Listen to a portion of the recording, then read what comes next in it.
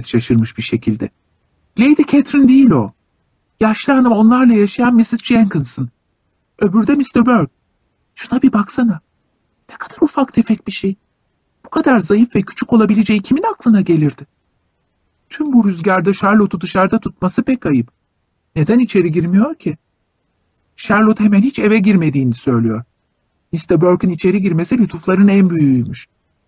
Görünümünü beğendim, dedi Elizabeth aklına başka düşünceler gelerek. Hasta ve hırçın birisi gibi duruyor. Evet, ona pek yakışacak. Pek münasip bir eş olacak. Mr. Collins ve Charlotte kapıda durmuş hanımlarla sohbet ediyorlardı. Sir William ise Elizabeth'in epey dikkatini çeken bir şekilde kapı ağzına konuşlanmış, gözlerinin önündeki yüceliğin büyüsüne kapılmış bir vaziyette Mr. Burke'ün her bakışında eğilip selam vermekteydi. En nihayet söylenecek sözler bitmişti. Hanımlar arabalarına binip uzaklaştılar. Ötekiler de eve geri döndü. Mr. Collins iki kızı gördüğü anda ne kadar talihli olduklarına dair tebriklerini sıralamaya başladı. Charlotte ertesi gün herkesin Rosings'e yemeğe davet edildiğini söyleyerek konuya açıklık getirdi.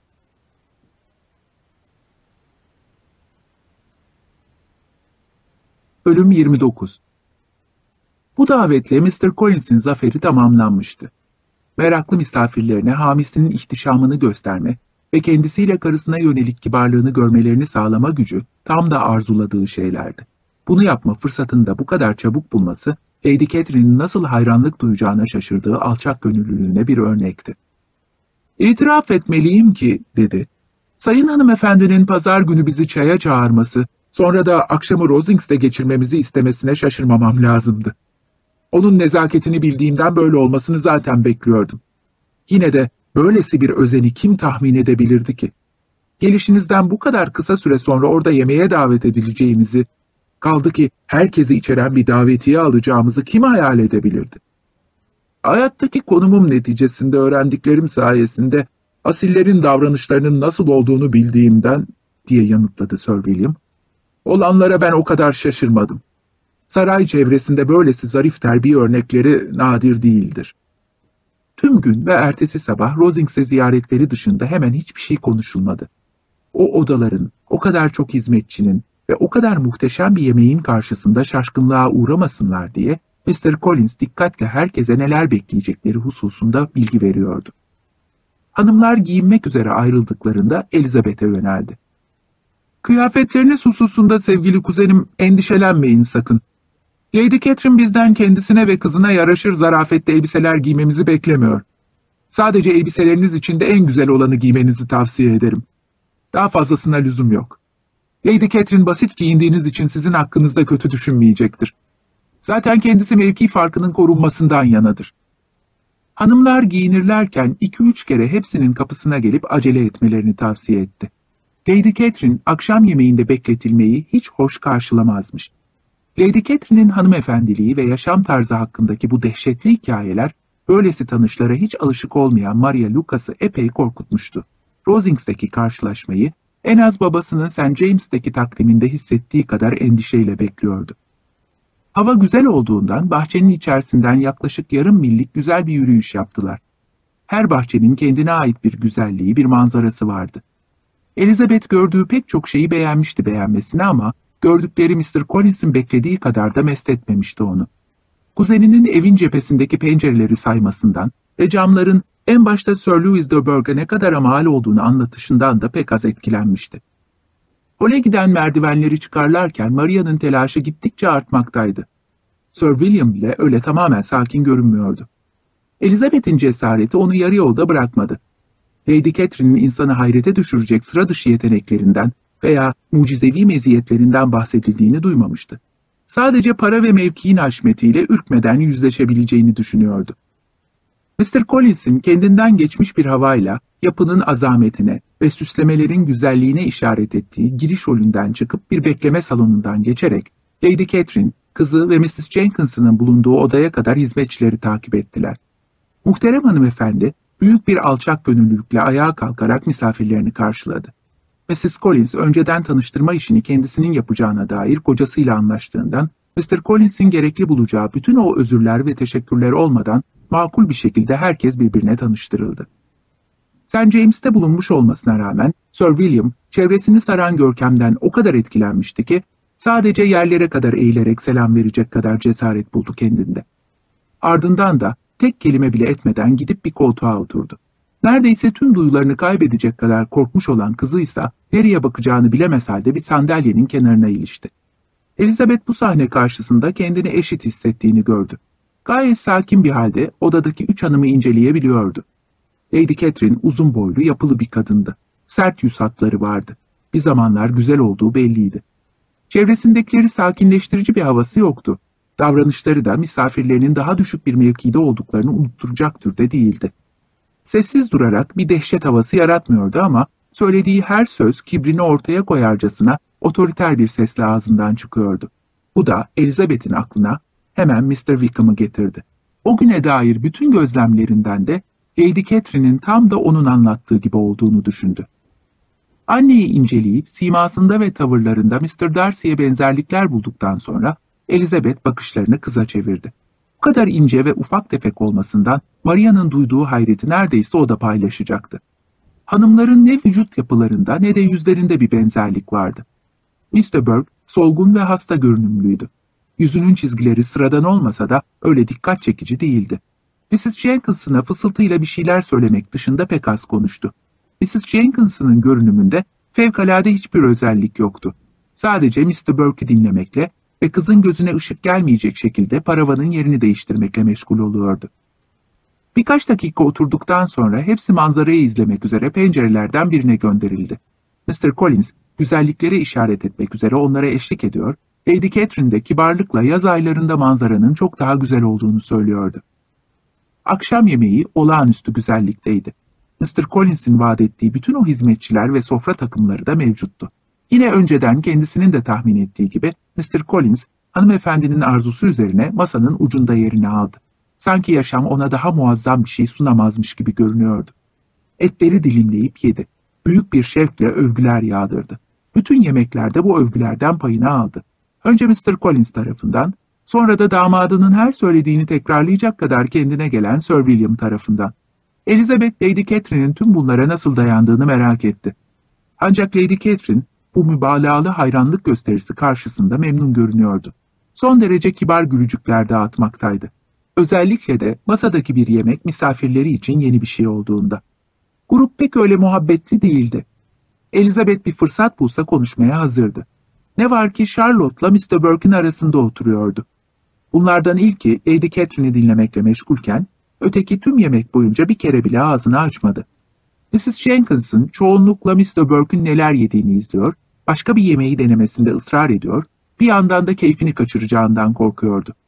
Maria konuşmasının mevzu bahis bile olamayacağını düşünürken, beyler yemek yiyip övmek dışında bir şey yapmıyorlardı. Hanımlar misafir odasına döndüklerinde, Lady Catherine'in konuşmalarını dinlemek dışında yapacakları pek bir şey yoktu. Hanımefendi kahveler gelinceye kadar hiç ara vermeden konuştu. Fikirlerine karşı çıkılmasına hiç alışık olmadığını kanıtlarcasına hemen her konuda fikirlerini kesin bir ses tonuyla dile getirdi. Charlotte'un ev işlerini samimiyetle ve dikkatle soruşturdu. Hepsinin idaresine dair bol bol öğütlerde bulundu. Onunki kadar küçük bir ailede her şeyin nasıl düzenlenmesi gerektiğini anlattı ve inekleriyle tavuklarının bakımına dair talimatlar verdi. Başkalarına talimatlar yağdırma fırsatı sunuyorsa eğer, en ufak meselelerin bile hanımefendi hazretleri için ne kadar mühim olabildiğini fark etti Elizabeth. Mrs. Collins'le sohbetine ara verdiğinde de Maria ile Elizabeth'e çeşitli sorular yöneltti. Bilhassa da akrabalarını pek az tanıdığı ve Mr. Collins'e de dediği gibi pek terbiyeli, hoş bir kız olarak bulduğu Elizabeth'e sorular sordu. Birkaç kere kaç kız kardeşi olduğunu, kendisinden büyük mü küçük mü olduklarını, herhangi birinin evlenme ihtimali olup olmadığını, güzel olup olmadıklarını, eğitim alıp almadıklarını, babasının nasıl bir arabası olduğunu ve annesinin genç kızlık soyadının ne olduğunu sordu. Elizabeth tüm bu soruların biraz münasebetsiz olduğunu düşündü ama yine de büyük bir sabırla cevap verdi. Lady Catherine daha sonra, ''Sanırım babanızın mülkü Mr. Collins'e miras kalacak.'' diye gözlemledi. Charlotte'a dönerek de, ''Sizin adınıza'' dedi, ''bu duruma seviniyorum.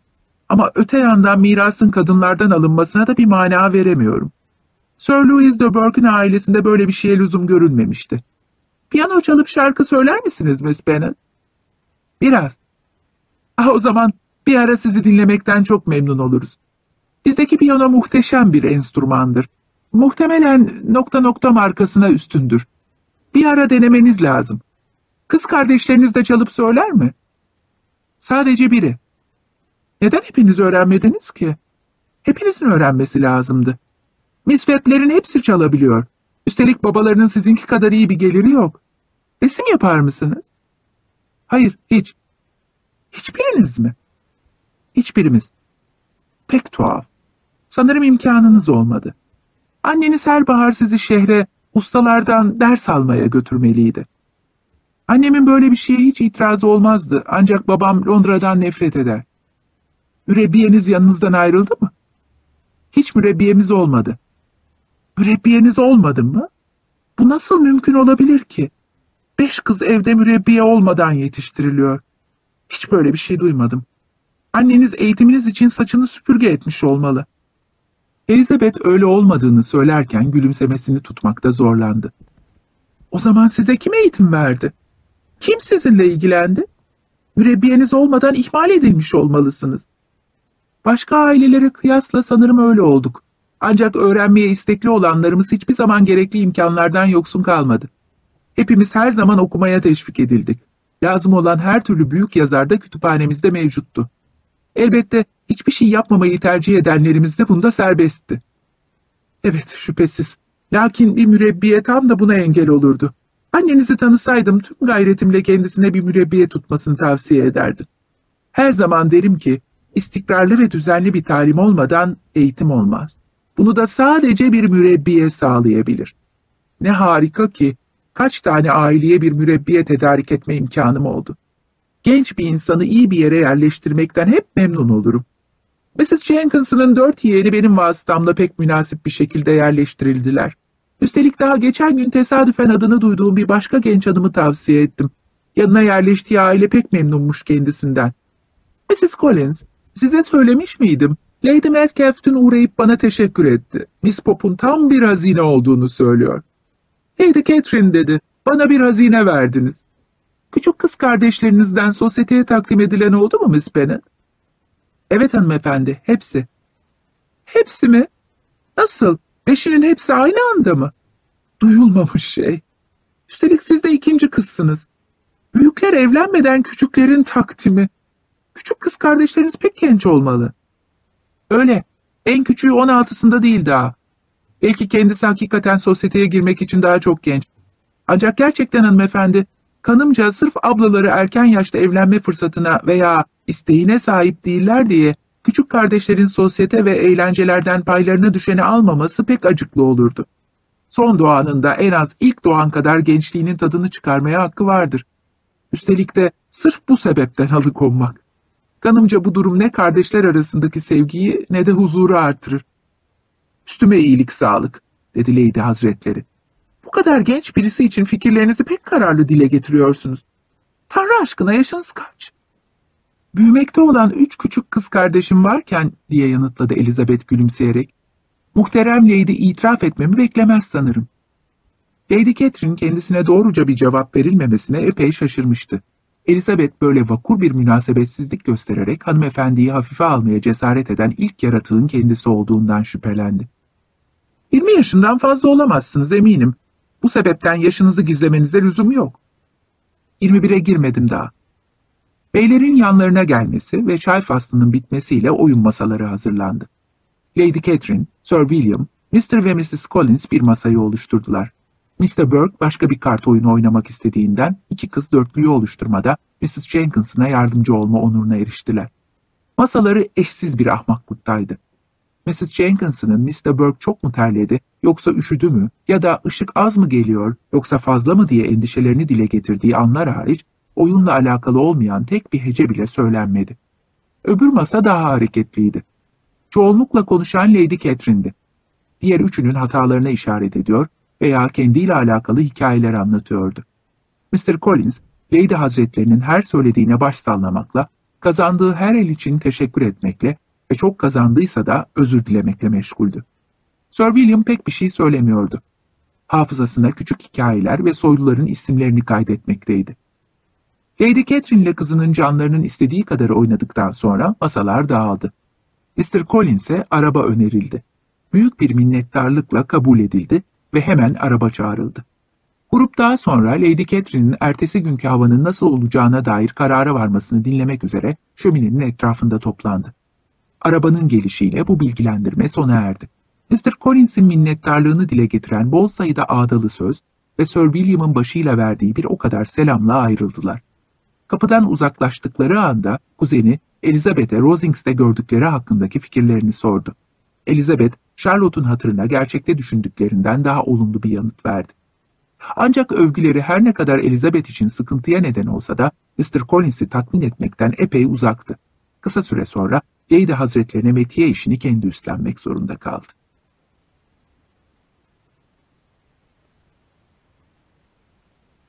Bölüm 30 Sir William Hansford'da sadece bir hafta kaldı. Ama ziyareti kızının son derece konforlu bir şekilde düzen kurduğuna ve eşi benzeri zor bulunur böylesi bir kocaya ve böylesi bir komşuya sahip olduğuna ikna olmaya yetecek kadar uzundu. Sir William oradayken Mr. Collins sabahlarını küçük teknesiyle onu gezdirmeye, civarı göstermeye ayırıyordu. Ancak Sir William gittiğinde tüm aile normal uğraşlarına geri döndü. Elizabeth bu değişim neticesinde kuzenini daha fazla görmek zorunda kalacağını düşünürken öyle olmadığını görüp sevindi. Adam kahvaltı ile akşam yemeği arasındaki zamanının çoğunu ya bahçede çalışarak ya da yola bakan kütüphanesinde okuyup yazarak veya camdan dışarıyı seyrederek geçiriyordu. Hanımların oturduğu oda arkaya bakıyordu. Elizabeth önce Charlotte'un günlük kullanım için neden yemek salonunu tercih etmediğini merak etmişti. Bu oda hem daha büyüktü hem de daha güzel bir manzaraya sahipti. Ama kısa süre sonra Charlotte'un mükemmel bir sebebi olduğunu fark etti. Kendi odasıyla eşit derecede güzel bir odada otursalardı, şüphesiz Mr. Collins de çoğunlukla yanlarında olurdu. Bu yüzden Elizabeth içinden Charlotte'u tebrik etti. Misafir odasından yoldaki hiçbir şeyi göremiyorlardı. Bu yüzden hangi arabaların geçtiği havadislerini yetiştirdiği için Mr. Collins'e müteşekkirlerdi. Kendisi ayrıyeten özellikle Miss Burke'ün faytonuyla kaç kere geçtiği hususunda bilgi vermeyi hiç atlamıyordu. Bu durum hemen her gün olsa da. Hanımefendinin papaz evinin önünde durmadan geçtiği pek olmazdı. Charlotte'la birkaç dakika sohbet eder ancak faytonundan çıkmaya pek ikna edilemezdi. Mr. Collins'in Rosings'e gitmediği gün yok gibiydi. Çoğunlukla karısı da ona eşlik etmeye mecbur olduğunu düşünüyordu. Elizabeth bu kadar çok vaktin feda edilmesini anlayamıyordu. Ta ki aileye bahşedilebilecek başka papazlık makamları olabileceği aklına gelinceye kadar. Arada bir muhterem Lady'nin uğramasıyla onurlanıyorlardı. Bu ziyaretler sırasında odadaki hiçbir şey hanımefendinin gözünden kaçmıyordu. Çalışanları inceliyor, neler yaptıklarına bakıyor ve başka türlü yapmalarını tavsiye ediyor, mobilyaların yerleşiminde kusur buluyor veyahut hizmetçinin ihmal ettiği bir şeyi tespit ediyordu. Herhangi bir yiyecek ikramını kabul edecek olursa da bunu Salt Mrs. Collins'in ikram ettiği et dilimlerinin böyle bir aile için pek büyük olduğunu görmek adına yapıyordu. Elizabeth kısa süre sonra bu muhterem hanımefendinin bölgenin sulh heyetinde olmamasına rağmen kendi cemaatinde Mr. Collins tarafından kendisine iletilen en küçük meselelerde bile son derece faal bir sulh hakimi olduğunu gördü.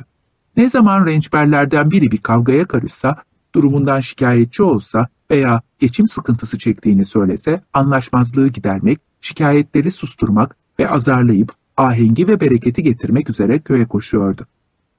Rosings'teki yemek eğlencesi haftada iki kez yineleniyordu. Sir William'ın eksikliği ve akşamları sadece bir oyun masası olması dışında her eğlence ilkinin aynısı geçiyordu. Genel olarak civarlarındaki yaşam tarzı Mr. Collins'in imkanları dışında olduğundan başka eğlenceleri yok gibiydi. Ancak bu durum Elizabeth için bir sorun teşkil etmiyordu. Orada geçirdiği tüm zaman yeterince huzurluydu. Charlotte'la yaptığı yarım saatlik sohbetler vardı. Yılın bu vakitlerine göre hava da güzel olduğundan açık havada olmaktan büyük keyif alıyordu. En çok hoşuna giden de ötekiler Lady Catherine'in yanına gittiği zaman bahçe boyunca uzanan koruda sık sık yaptığı yürüyüşlerdi. Burada sanki sadece kendisinin kıymetini bildiği güzel korunaklı bir yol vardı. Elizabeth bu yolda Lady Catherine'in meraklı bakışlarından uzak olduğunu hissediyordu. Böyle sessiz bir şekilde ziyaretinin ilk iki haftası geçip gitti. Paskalya yaklaşmaktaydı ve öncesindeki hafta Rosings'teki aileye birisi katılacaktı. Bu kadar küçük bir çevrede bu mesele önemli olmalıydı. Elizabeth oraya geldikten kısa süre sonra birkaç hafta içinde Mr. Darcy'nin gelişinin beklendiğini öğrenmişti. Her ne kadar gelmesini tercih edeceği başka tanışları olsa da en azından Rosings'teki eğlencelerine nispeten yeni bir yüz katılacaktı.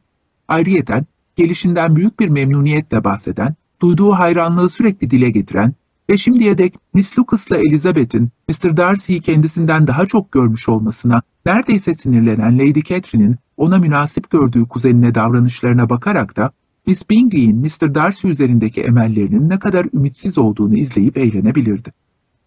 Mr. Darcy'nin varışı kısa süre içerisinde papaz evinde duyuldu. Mr. Collins ilk öğrenen kişi olabilmek için bütün sabahını Hansford Caddesi'ne bakan kulübelerin civarında dolaşarak geçirmiş, araba bahçeye girdiğinde de selamını verip bu muhteşem havadisle eve koşturmuştu. Ertesi sabahta Lady Catherine'in yeğenine saygılarını sunmak üzere telaşla Rosings'e gitti.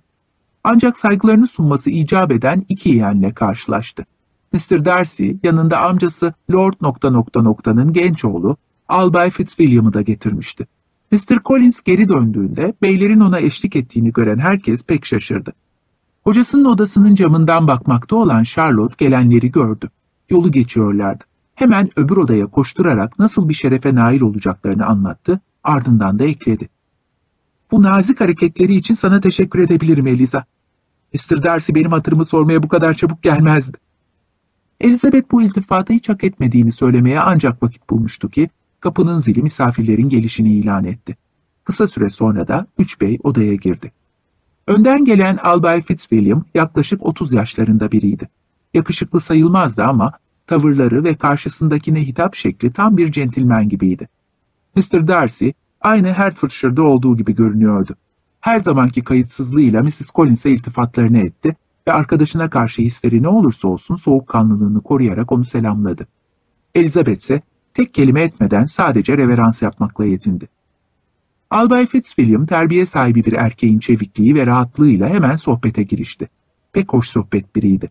Öte yanda kuzeni ise ev ve bahçeyle ilgili Mr. Collins'e üstün körü bir şeyler söyledi. Sonra da hiç kimseyle konuşmadan bir süre oturdu. Ancak nihayet görgü kuralları aklına geldi de Elizabeth'e ailesinin afiyette olup olmadığını sordu. Elizabeth her zamanki cevapları verdi. Bir an durakladıktan sonra da ekledi. Ablam son üç aydır şehirde. Orada hiç görüşmediniz mi? Elizabeth görüşmediklerini zaten farkındaydı. Ama Bingley ailesiyle Jane arasında neler geçtiği konusunda bir şeyler belli edip etmeyeceğini görmek istiyordu. Miss Bennet'la karşılaşacak kadar talihli olmadığını söylerkenki hali biraz tuhaf göründü Elizabeth'e. Sohbet daha fazla sürdürülmedi. Kısa süre sonra da beyler kalkıp gittiler.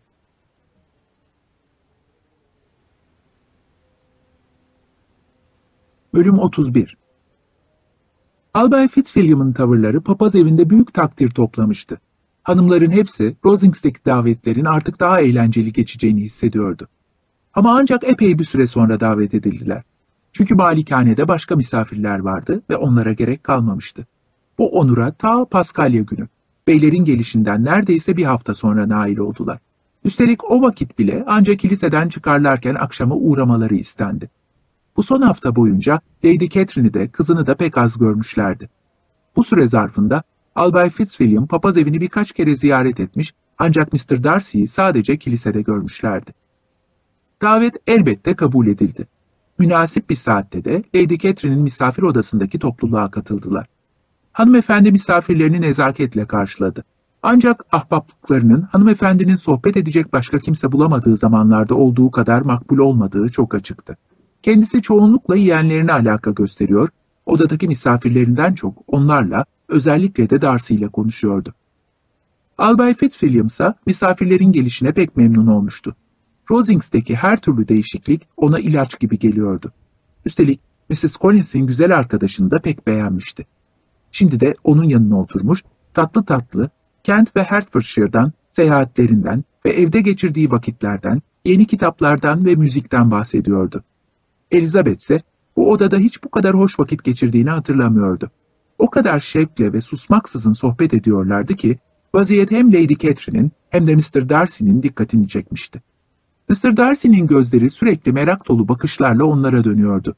Bir süre sonra da bu hisleri paylaşan ve herkesin duyacağı bir şekilde seslenme hususunda bir tereddüt yaşamayan hanımefendi hazretleri vaziyete el koydu.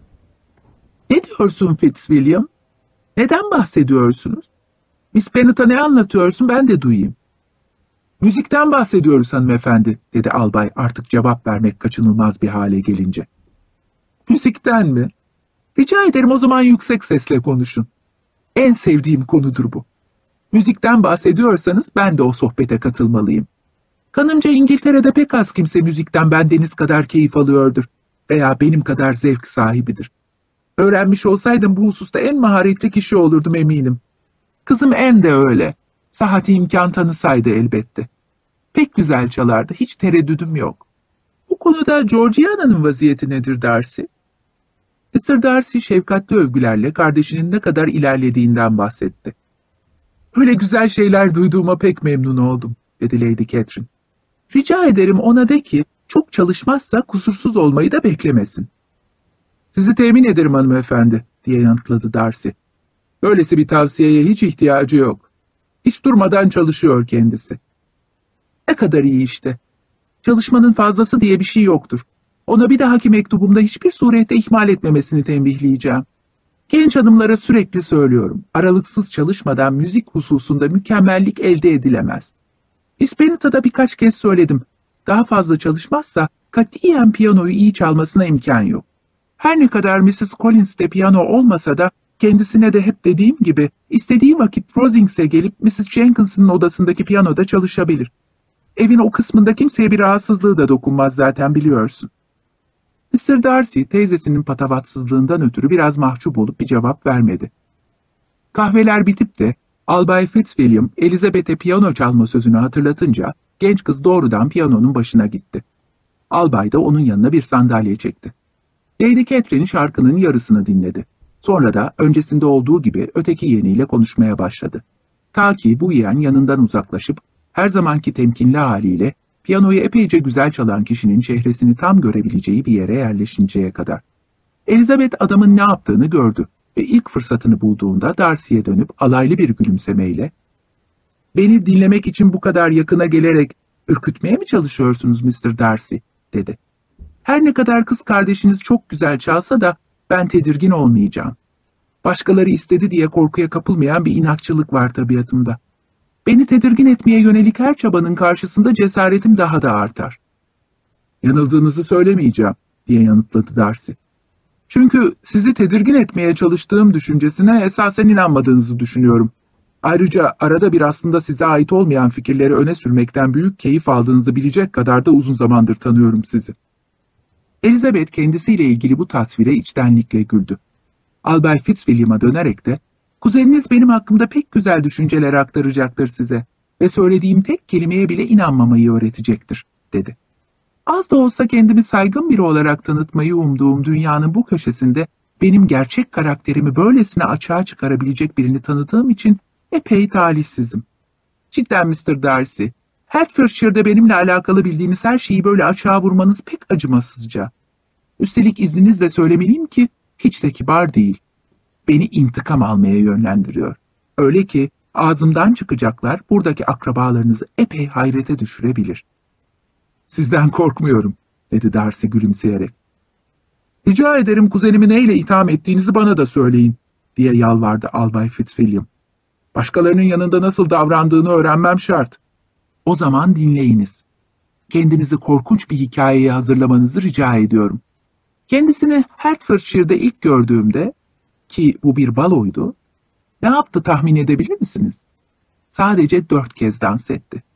Bunu söylediğime üzülüyorum ama gerçek bu. Beyler sayısının az olmasına rağmen sadece dört kez dans etti. Üstelik şunu da biliyorum ki birden fazla genç hanım dans eşleri olmadığı için oturmak zorunda kalmıştı. Mr. Darcy, bu gerçeği asla inkar edemezsiniz. O vakitlerde kendi ahbaplarım dışında hiçbir genç hanımla tanışma şerefine henüz erişmemiştim. Öyle ya, bir balo salonunda birileriyle tanışmak imkansızdır. Neyse, Albay Fitzwilliam şimdi ne çalayım? Parmaklarım emrinize amade.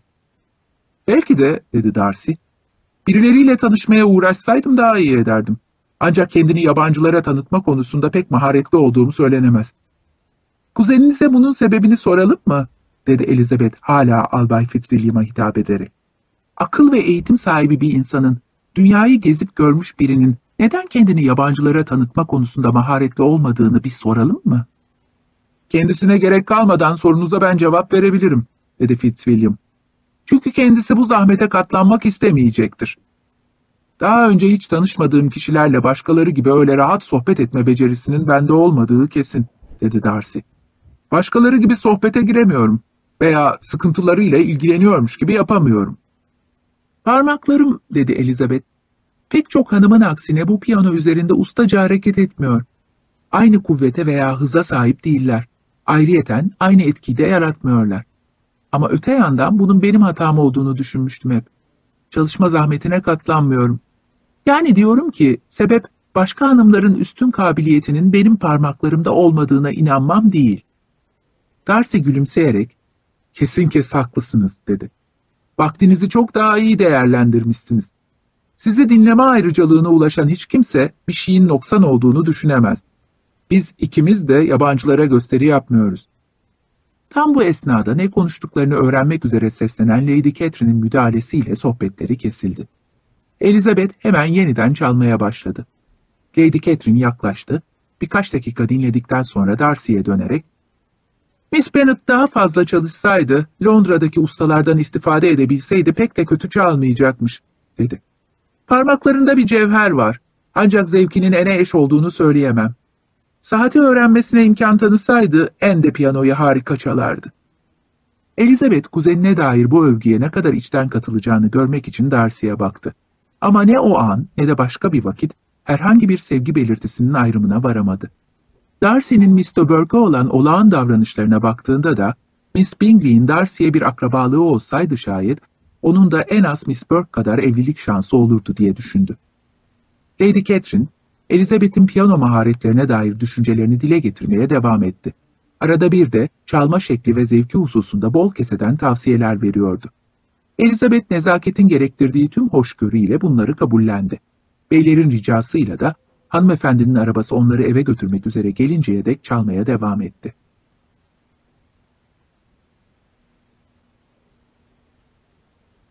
Bölüm 32 Ertesi sabah Mrs. Collins ile Maria birkaç iş için kasabaya inmişken Elizabeth tek başına oturmuş Jane'e mektup yazıyordu. Tam o esnada kapının ziliyle irkildi. Bir misafir geldiği belliydi. Araba sesi duymadığı için Lady Catherine olması muhtemel diye düşündü. O endişeyle de bütün o gereksiz sorulardan kaçınmak için yarısı bitmiş mektubunu ortalıktan kaldırdı. Kapıyı açtığındaysa gelenin Mr. Darcy. Sadece Mr. Darcy olduğunu görünce şaşkınlığa uğradı. Beyefendinin kendisinin de Elizabeth'i tek başına bulmaktan hayrete düştüğü belliydi. Bütün hanımların evde olacağını zannettiğini söyleyerek verdiği rahatsızlıktan dolayı özür diledi. Oturdular. Elizabeth'in Rosings'tekilerin hal hatırını sormasından sonra toptan bir sessizliğe bürünme tehlikesiyle karşı karşıyaymışlar gibi görünüyordu.